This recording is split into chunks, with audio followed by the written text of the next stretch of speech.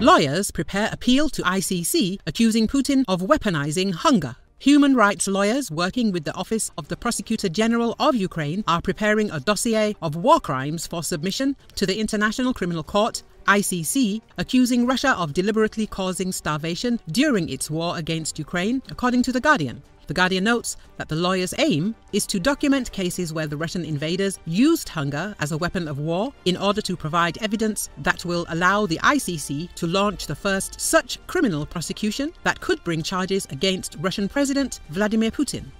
Yusuf Khan,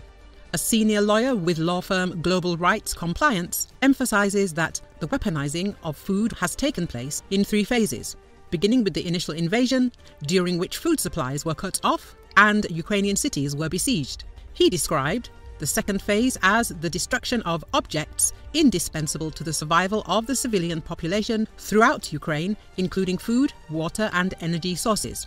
The third phase is Russia's attempts to prevent or restrict the export of Ukrainian food. The Guardian recalls that in 2018, the UN Security Council approved a resolution condemning the use of hunger as a means of warfare, and in 2019, the Rome Statute of the ICC was amended to expand the list of cases that may be brought in this regard. Some of the lawyers' efforts will be directed towards identifying the perpetrators, in particular to call for the indictment of Putin, as happened in March when the ICC issued a warrant for the Russian president's arrest for overseeing the illegal deportation of Ukrainian children to Russia from territories occupied during the war.